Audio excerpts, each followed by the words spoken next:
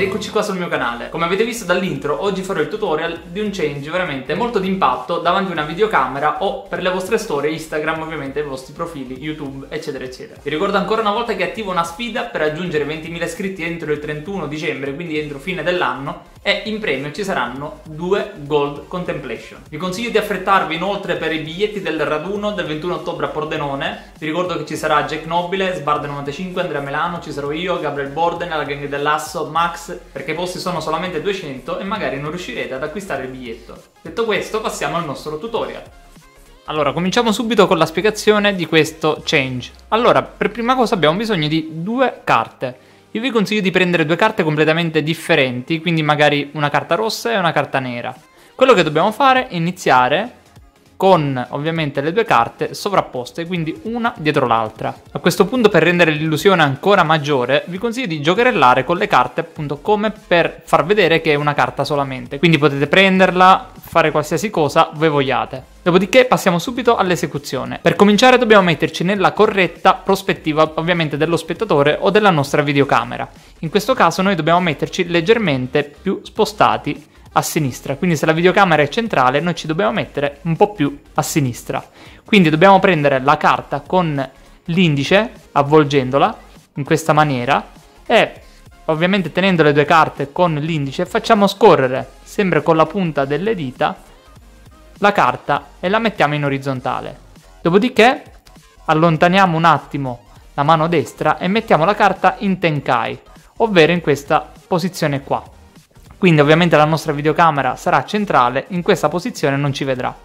Quello che dobbiamo fare adesso è passare la mano semplicemente davanti alla carta e poi riaddrizzarla e metterla ovviamente in cima all'altra carta. Ovviamente poi possiamo fare di nuovo i nostri movimenti per far vedere che è una carta solamente, eccetera, eccetera. Il tutto deve essere in maniera fluida, quindi senza fermarci faccio scorrere la mano in questa maniera, dopodiché con molta calma, più il movimento è ben eseguito e più pulito vi verrà ovviamente il change. All'inizio vi consiglio di essere veramente molto lenti, anche perché non è importante, nella nostra videocamera anche se siamo più lenti, anzi il risultato è anche migliore, perché ovviamente vedrà questa carta che scompare magicamente davanti ai suoi occhi anche lentamente. Se non riuscite a mettere in tenkai la carta in questa maniera, potete anche utilizzare la tecnica di mettere la mano sopra la carta e da questa posizione metterla in tenkai. Però come vi dicevo prima, se riuscite con la punta delle dita, il risultato sarà più pulito. Quindi adesso passiamo sulla parte dell'allineamento, quindi come non farle flashare quando andiamo a squadrare. Quindi mettiamo la carta in Tenkai, possiamo utilizzare tre versioni. A proposito di versioni, non tutti sanno che il nome originale di questo change si chiama Tebe Change, che poi è stato ripreso nel libro di Bertram Ross, quindi da lì ne deriva il nome. Allora, possiamo utilizzare tre versioni per allineare le due carte, in base alle vostre mani e in base alle vostre comodità. Prima versione, vado a impalmare la carta, metto in Tenkai, nel passaggio della mano sopra la carta, quindi faccio vedere che è re di picche, nel passaggio vado a pinzare l'otto di cuori, rilasso leggermente la mano destra e abbiamo le due carte allineate. In questa versione dobbiamo stare molto attenti perché rischiamo di far vedere questa parte qui alla videocamera, quindi se siamo ben piazzati non si vedrà nulla. Seconda versione, impalmiamo la carta come prima, solo che anziché pinzare la parte bassa andiamo a pinzare la parte alta, quindi nel passaggio vado a pinzare qui e vado a chiudere.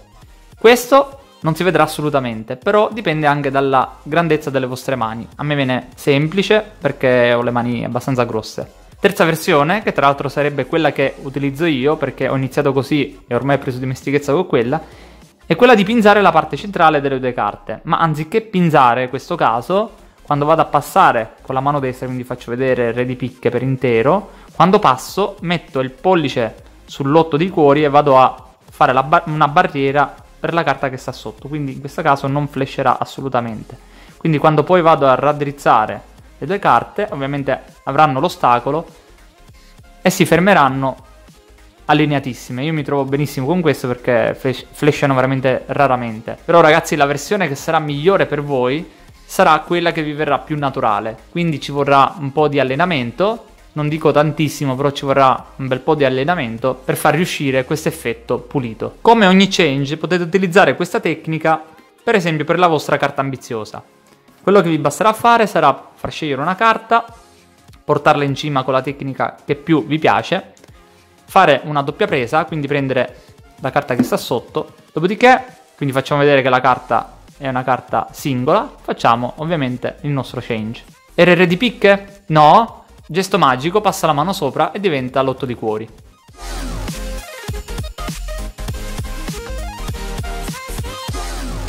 Quindi questo era il Betram Change, veramente molto visuale come change, uno dei miei preferiti. Spero che il video vi sia piaciuto, come sempre iscrivetevi se non siete ancora iscritti e lasciate un like per il prossimo video.